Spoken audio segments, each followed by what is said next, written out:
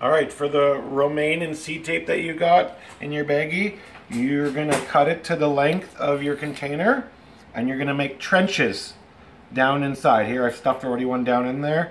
So the right length, I'm gonna bury that down a bit. Okay, this one not too deep either, okay? Now for seed tape, it needs a lot of water because the, the tape's gotta break down first. And its benefit of seed tape is that it is already spaced the seed is already spaced going this way. This is once again planted a bit too close together. May have to transplant it later on. But I'm gonna add some water, lots of water, get it nice and soaked. Okay. And then I am gonna push it down to make sure it's, uh, and I'm going to cover it and water it again. It wants lots of water.